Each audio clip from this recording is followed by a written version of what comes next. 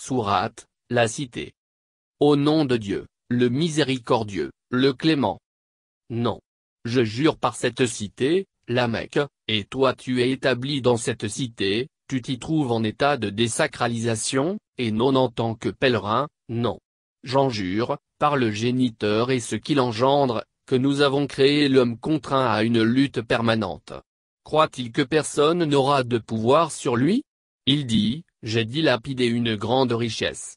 S'imagine-t-il que nul ne l'avait vu Ne l'avons-nous pas doté de deux yeux, d'une langue et de lèvres? Et indiqué les deux voies, celle du bien et celle du mal?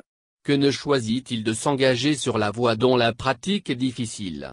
Comment pourrais-tu concevoir à quoi peut ressembler une voie difficile à pratiquer?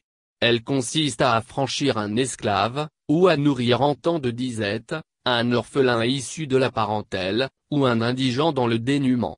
Elle consiste en outre à être de ceux qui croient, qui se recommandent mutuellement la patience et se recommandent mutuellement la compassion. Ce sont ceux-là les bienheureux de la dextre.